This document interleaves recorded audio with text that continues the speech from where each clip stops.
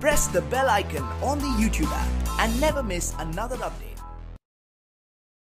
Aslam welcome to my channel technical मैं चलिए शुरू करते हैं। इस वीडियो के अंदर मैं आप लोगों को बताऊँगा, अपने किसी भी एंड्रॉयड मोबाइल में मोबाइल डाटा ऑलवेज एक्टिव वाले फीचर कैसे इनेबल करें। तो इस वीडियो को आप लास्ट तक देखते रहें स्किप ना करें। अगर आप चैनल पर नए हैं तो चैनल को सब्सक्राइब करना लाइक कमेंट शेयर ज़रूर करना। तो सबसे पहले आपको अपने मोबाइल की सेटिंग्स को ओपन करना है और नीचे की तरफ़ स्वाइप करने के बाद आपको एडिशनल सेटिंग्स वाले ऑप्शन पर टैप करना है।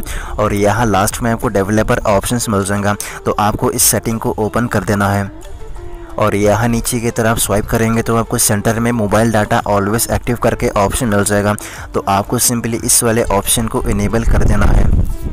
और इस सेटिंग को इनेबल करने के बाद अगर आप वाईफाई के ज़रिए किसी फ़ाइल को डाउनलोड करते हैं और आप नहीं चाहते कि आपकी फ़ाइल एक सेकंड के लिए भी पॉज हो जाए तो इसके लिए आपको अपना मोबाइल डाटा और वाईफाई दोनों को ऑन करना है। अगर आपका वाईफाई गलती से ऑफ़ है, फिर डाटा ख़त्म होता है तो आपके मोबाइल डाटा के ज़रिए वो फ़ाइल कंटिन्यू डाउनलोड होना स्टार्ट हो जाएगी। इस बीच में आपकी फ़ाइल पॉज नहीं होगी।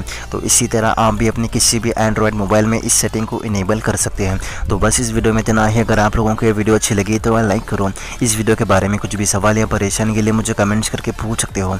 अगर आप लोगों ने अब तक मेरा चैनल अगर सब्सक्राइब नहीं किया तो जाकर सब्सक्राइब कर लो, ताकि मेरे आने वाली दो वीडियो अब तक पहुँचती रहे।